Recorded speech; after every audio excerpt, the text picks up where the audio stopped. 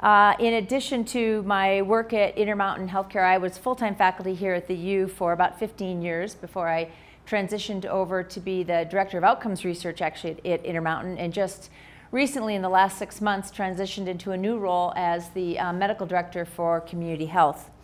And um, I'm also a adjunct professor in family and preventive medicine in the Division of Public Health. So I still have strong ties to the university. And um, I love this topic, uh, you know, don't hibernate, rejuvenate. And as I was putting my slides together, I thought, well, rejuvenation is about so much more, you know, than just physical activity. You know, it's, it can be about, you know, mind and body. And, you know, when I think about rejuvenation too, I'm thinking about, you know, getting a massage. I'm not going to talk about that today. Uh, we're going to kind of limit our uh, discussion to um, physical activity during the winter months and really being able to stay active during the winter season. So I retitled this to, um, I'm hoping to retitle this to uh, Don't Hibernate, Activate.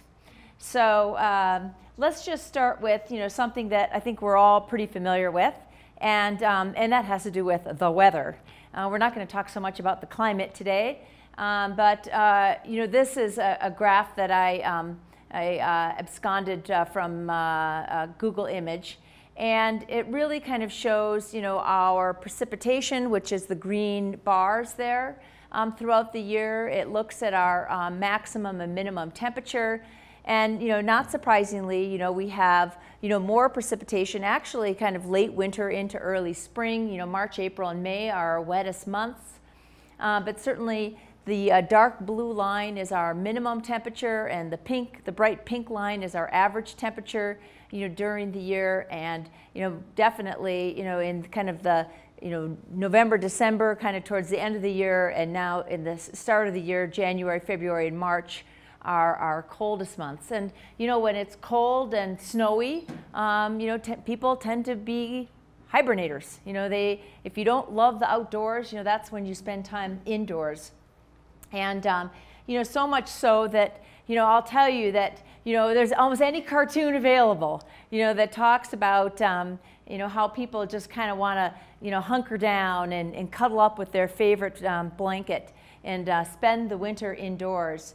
But um, what I'm here to do today is to tell you that A, it's really a bad idea. And when I share some of these health, you know, and physiologic changes that occur kind of in the setting of human hibernation, um, and uh, as well as share some strategies for how we can remain active, either outdoors or indoors.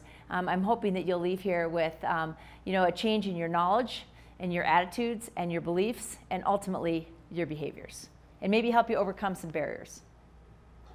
So let's start out with kind of the physiologic effect of human hibernation. And you know, I was aware of some of these, but I was a little stunned, I must admit, by you know, the, the gravity of these changes and how quickly some of these changes occur you know, when we are inactive or, or underactive. So um, when you have a complete cessation or it, you, you stop your exercise training, you know, your aerobic capacity, which we refer to as VO2 max, um, and your plasma volume you know, they decrease significantly within just two weeks. Within just two weeks, you start to see changes in your aerobic capacity and your blood volume. Your, your VO2 max or your aerobic, maximum aerobic capacity, it declines by 15% in 10 days and by 27% in 21 days. And some of these studies were done in um, prolonged bed rest. And these prolonged bed rest studies were actually done back in the 1980s. Um, 70s and 80s, and um, some of them were done to try and get a better sense of what would happen to astronauts who were in anti-gravity situations, um, trying to understand kind of the physiology of, of, of space travel. And they um, recruited college students, I think some medical students as well, you know, to undergo these complete bed rest studies. And then they studied them and they looked at their cardiovascular physiology as well as, as other aspects of um, physiology and health. So, but even within just a few days of bed rest, just a few days, um, you start to see other kind of metabolic changes. um, both uh, glucose intolerance as well as kind of a, a hyper-responsive um, insulin uh, response uh, occurs to a glucose load. Um, so you can imagine that, you know, when somebody is at, at bed rest, you know, for a prolonged period of time, you know, in combination with other factors, um, may also increase the risk of developing type 2 diabetes. You have a reduction in total energy expenditure. Um, you have negative nitrogen balance, which reflects a loss of muscle protein. So again, this is within days. Within days, you're starting to lose muscle mass. You have a negative calcium balance, which is a reflection of loss of bone mass. So within days, you're losing bone mass. And, um, and I already mentioned that you know you see a decrease in aerobic power, um, and that it occurs in combination with this reduction in plasma volume. So you know your overall blood volume is reduced in terms of you know what's being circulated inside your body. And over uh, a little bit longer term, because you know the bears don't hibernate for just a couple days or even a couple weeks. You know they hibernate for months um, within a month of bed rest. So again, this goes back to some of these prolonged bed rest studies. You see a 10 to 20% decrease in muscle cross-sectional area. So muscles are getting smaller and getting weaker. Um, and uh, you see up to a 21% decrease in muscle strength. So we see, you know, changes in aerobic uh, capacity, maximum aerobic capacity, changes in metabolic health, um, we see uh, decreases in um, muscle size and muscle strength, as well as a decrease in uh, bone mineral density. So it doesn't sound so good. Hibernation doesn't sound so good, does it? I mean, you know, the more we can, you know, stay active um, and across our lifespan, let alone across a calendar year, um, will help to kind of prevent these. You know, we talk about the, you know, there's that classic saying that says, if you don't use it, you'll lose it. And it's really true. And I, I, will tell you that there's a wealth of scientific evidence to support that kind of cliched phrase of if you don't use it, you lose it. So what can you do, you know, in the winter months? I mean, there's a lot that we can do. I mean, you know, we live in uh, the state, you know, that um, proclaims it has the greatest snow on earth. And so uh, just a show of hands, how many of you actually take advantage of the outdoors and do snow activities? So about half. Yeah, and I'm, I'm from Minnesota, and uh, you know, it's, it's pretty snowy there. Not as snowy these days as it was when I was uh, growing up. Also super cold there. So I, I found that since moving to Utah, I actually do way more outdoor activities here because there's lots of snow and it's not as cold. So I've really appreciated um, the change in, in weather uh, moving from the Midwest to uh, Utah. And, um, and what are some of those things that you can do outside? Well, obviously skiing. You know, we have uh, you know, a multitude of uh, alpine skiing uh, resorts, some of the best in the world. And um, uh, certainly many people, both locally and, and far, far away, take advantage of that. Of course, you know, there's cross-country skiing in addition to alpine skiing um, and snowshoeing. You know, I had to like, you know, show off my kids a little bit.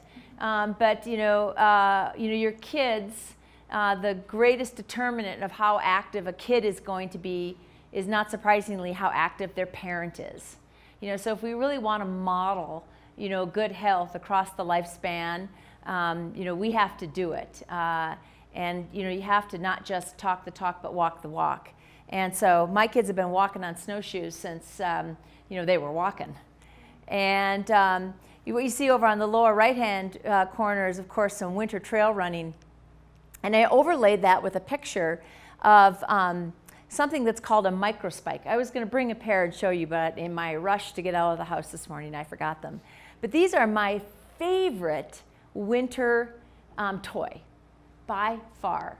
And uh, whether I'm walking my dog or going trail running, um, I've even used them skiing. If I'm hiking skiing and I'm carrying my skis, um, is these just, these are rubber with these crampon-like chains on the bottom. They fit over any hiking shoe or running shoe um, or ski boot, as it turns out, and, um, and really gives you a good grip without having to go out and purchase you know, crampons and strapping those on or having special boots.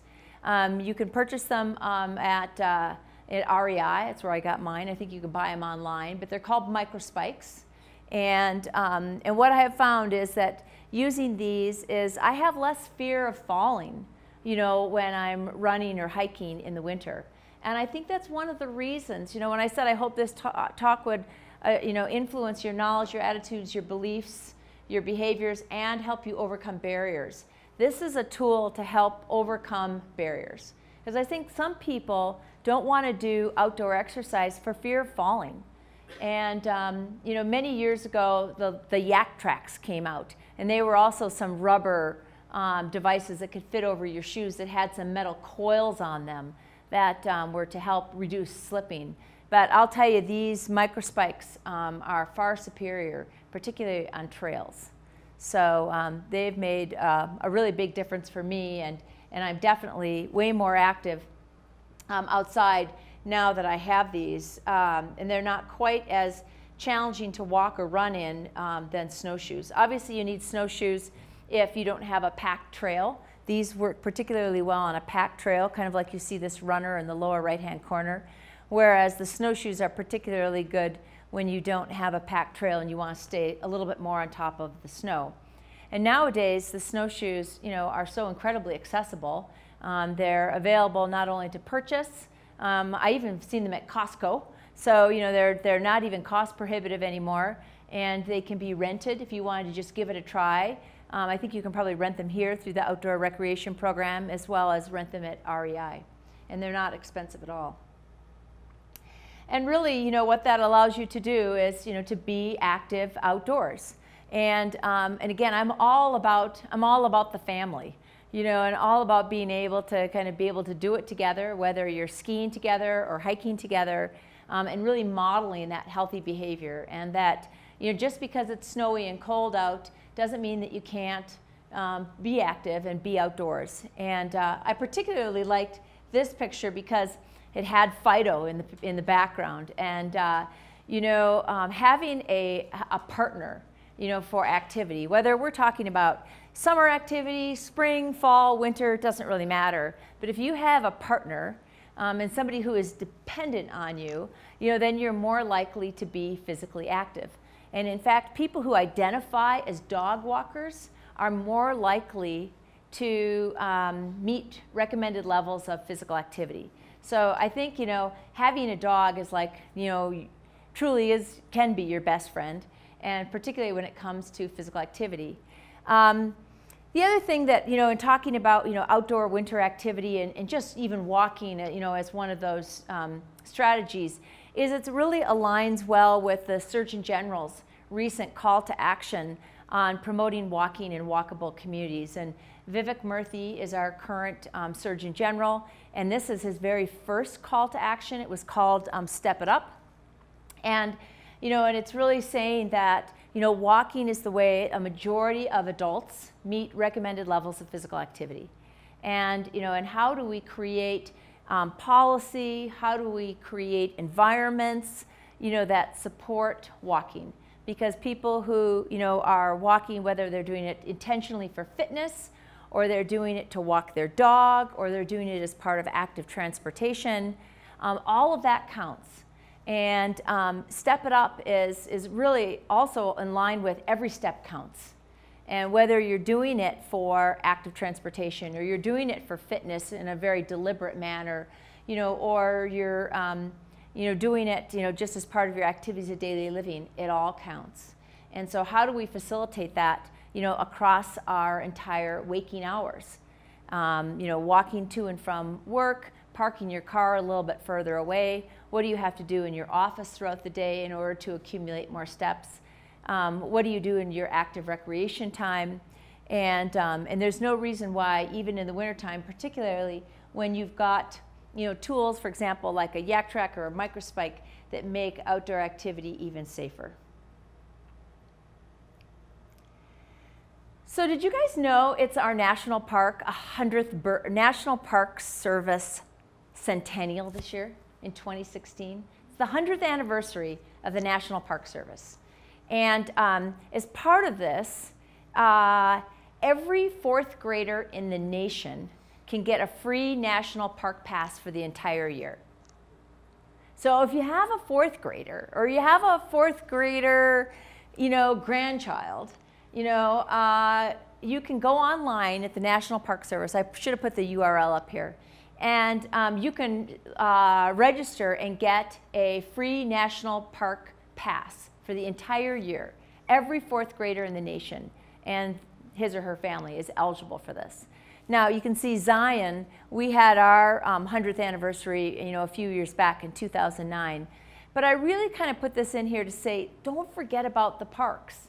You know, and um, you know, we just got done with you know the long President's Day weekend. And um, did any of you visit a national park over President's Day weekend? Where did you go? Arches. Arches. Was it spectacular? Absolutely. Yeah, it's so beautiful down there in the winter. I was going through my slide decks, and of course, you know, because I wanted to show all these kind of uh, park pictures. This was President's Day weekend last year on the uh, right-hand side. And that would be me climbing up uh, some rocks, notably without a rope. Um, and, uh, you know, it was a little chilly. I've got my down puffy coat on. Um, but uh, there wasn't any snow down there, but it was February. You know, and we were down in just outside of Bryce Canyon. And, uh, and then you see my, my husband and son down there, you know, uh, posing for the picture. But I just wanted to kind of draw attention to the fact that, you know, we have, an, you know, it's an unbelievable playground. It's one of my favorite things about moving to Utah is actually southern Utah. Um, but particularly, you know, in those kind of um, shoulder seasons, you know, like late spring, late fall, into the winter. When we were down there, of course, you know, we're at Bryce Canyon, so you have to stay at Ruby's. And, um, you know, it was empty. And we had, we walked all over Bryce Canyon and then went down to the slot canyons and hiked around in there as well. But um, there's so much to do here, and I think sometimes it's just a matter of, you know, being creative and imaginative and thinking outside the box and saying, so what can I do, you know, aside from kind of the usual stuff, you know, hibernating inside and, and, and even if you don't like the snow, you know, there are places to go where you can explore, you know, our beautiful state and not have to be outside. You know, certainly an advantage of uh, going to some place like southern Utah and some of our national parks is you get to escape the inversion. And this year has been bad, right? I mean, you know, I think our air quality index last week, you know, was in the 150s, which is, you know, un unhealthy for all. And you don't want to be outside exercising when the air quality is like this. I mean, you really don't.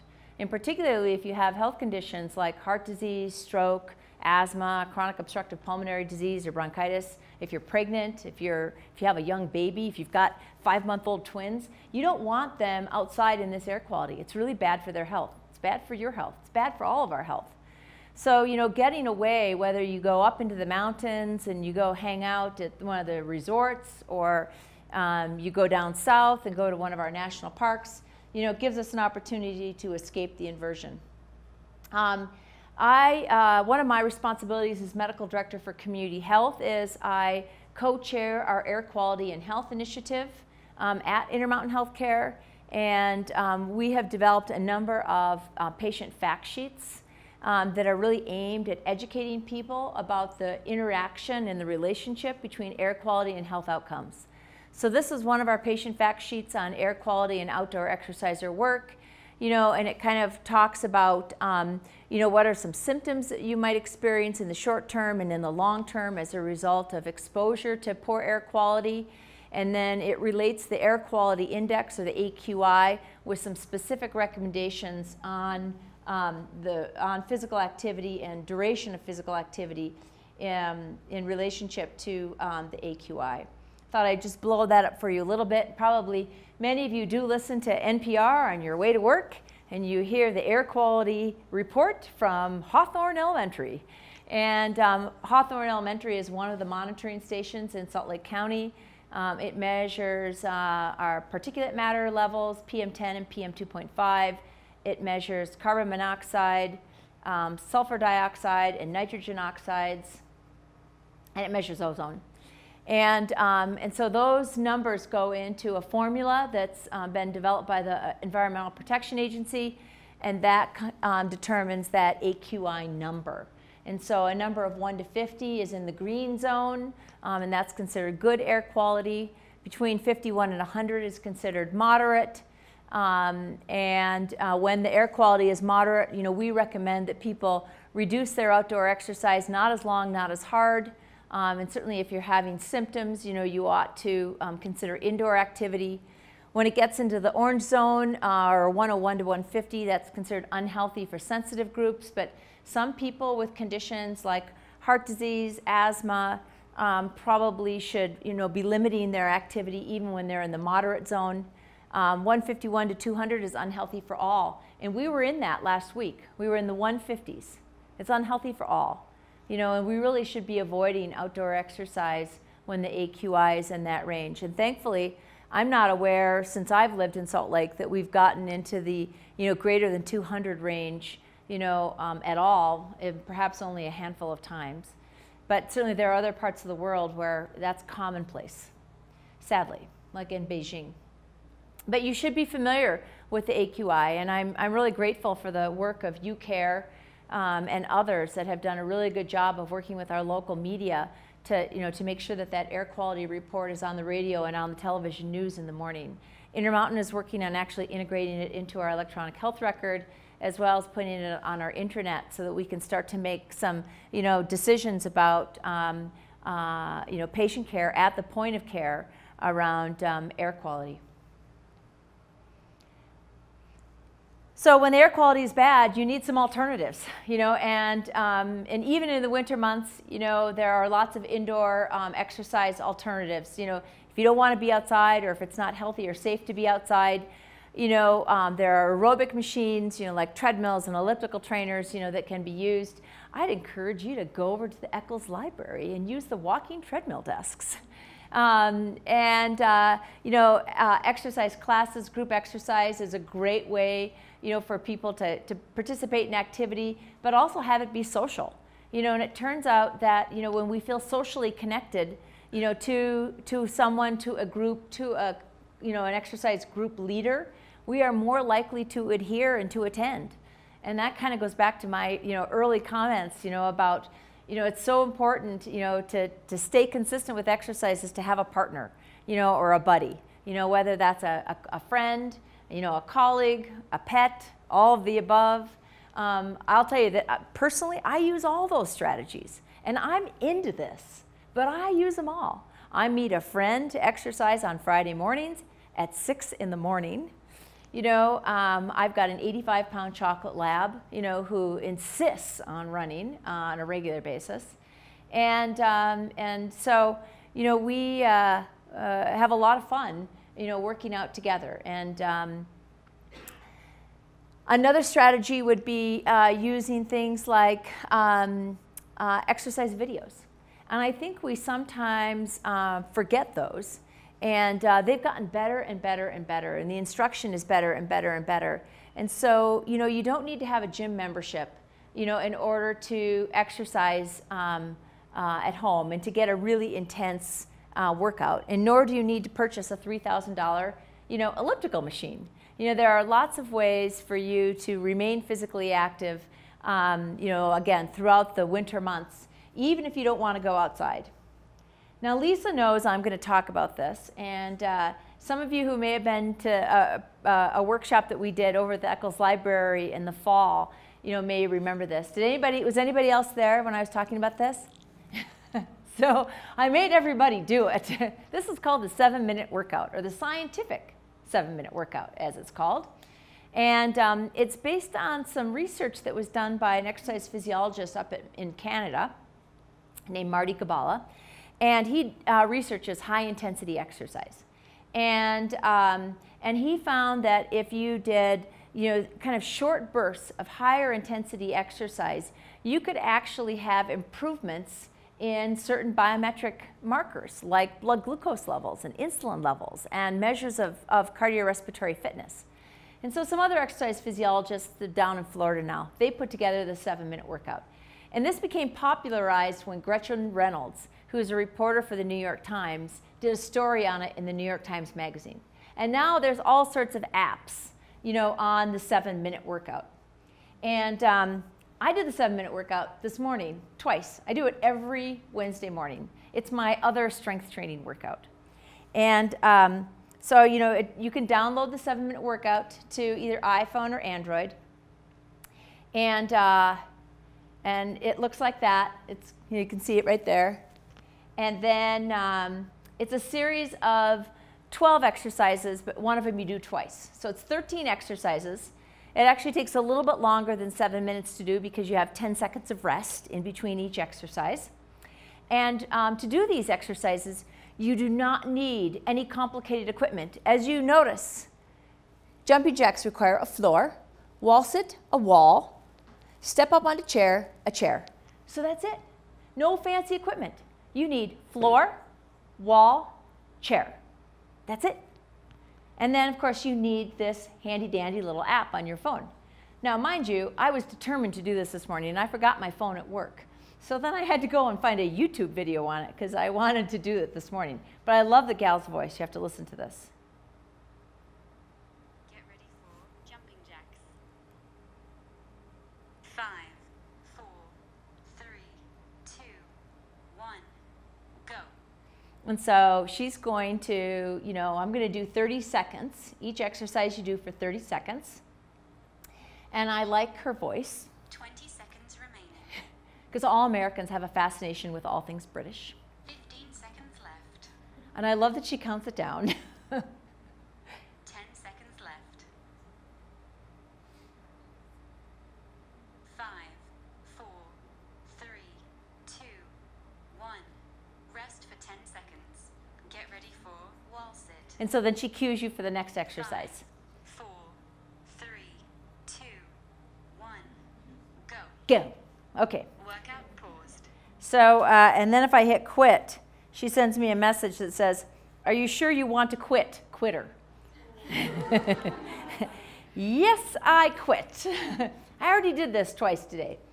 So, the scientific seven minute workout, I think, is just so accessible.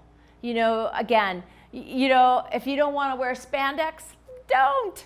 You know, I have colleagues at work who have this, you know, that they printed from the New York Times article, or you can just find it on Google Image. And they just printed it and they've got it, you know, uh, up in their cubicles, you know, or in their offices and are doing this. And um, because it's, you know, it's, uh, it's an easy thing to do. You can do it. Uh, and, and although they call it the seven minute workout, really to get the optimal benefits, you want to do it at least twice, two to three times, they say. So it, for me, it's my Wednesday exercise, and I really like the scientific seven minute workout. So, you know, and obviously that's a very self directed program, which is great. You know, you don't need somebody kind of prodding you like with a cattle prod. But if you do need a little prodding, you know, um, you know, personal training, you know, is definitely an option. And, um, you know, a personal trainer can kind of help guide you through exercises that maybe you're just a little bit uncomfortable with, or, you know, there may be a, a fear of injury. Um, and uh, I just wanted to kind of point out, and I, I recommend this to my patients with some regularity. You know, if they're not comfortable doing things on their own, or they really want to have some accountability and to have somebody kind of coach and guide them, you know, through, say, a change in their um, physical activity or their exercise routine, is to consider an online personal trainer. And um, these are becoming very, very popular, and it's a subscription. And, um, and you know, what's nice about the online personal trainer is it goes where you go. You know, and for somebody who does a lot of business travel, um, and they, they want to kind of continue to stay engaged in an exercise program as they travel, um, this is a great way to do it. It can be, um, it's done typically asynchronously, so it's not like that the, your coach or your trainer is online with you during the time you're training. Um, but there's a number of different uh, ways to access online personal training. And, um, and this is really easy. I, I Googled online personal training and came up with these top 10 reviews, and these were the top 10 uh, personal training uh, uh, websites um, where you can develop an online fitness program that you can do at your own pace. You can, it's got a menu of services on many of these sites where you can say, I just want a workout program based on my goals, um, or I actually want to get more coaching. Um, uh, I want to see, there are videos of almost all the exercises. So if you're not comfortable, you know, doing one, you can actually watch a video, watch it as many times as you want. And um, it'll show you how to work through um, some of those exercises. So online personal training is another strategy, you know, to help you stay active, you know, uh, throughout the winter month without having it be um, a very uh, um, expensive. So I really have, this is my last slide because I was hoping that, you know, this would really be kind of more of a discussion about, you know, what's working and, and I'm happy to kind of help people also work through their own barriers about being active uh, throughout the winter months.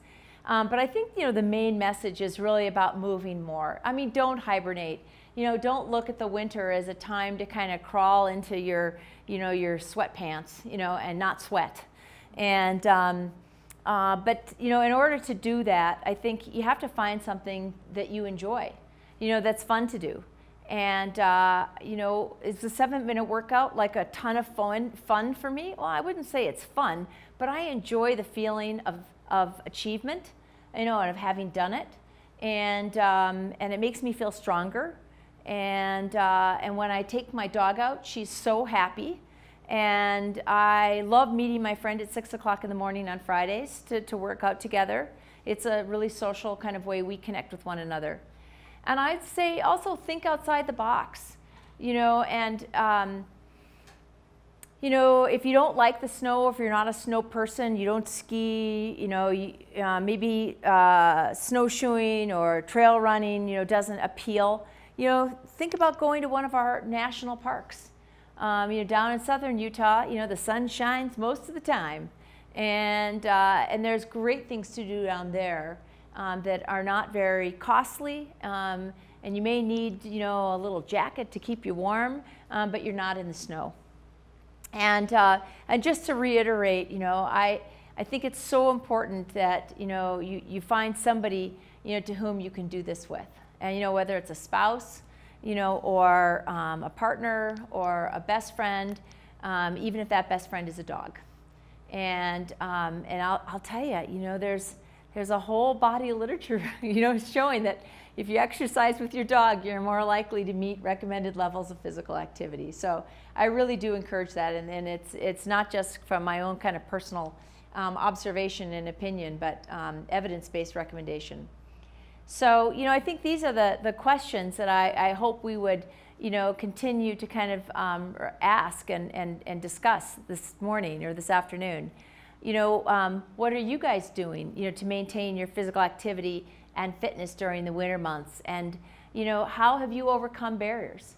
I mean, that kind of peer learning, I think, is so important. I mean, we're all busy, um, but, you know, we work in a health sciences center, you know, so we care about health and, um, and how are you successful in overcoming those barriers?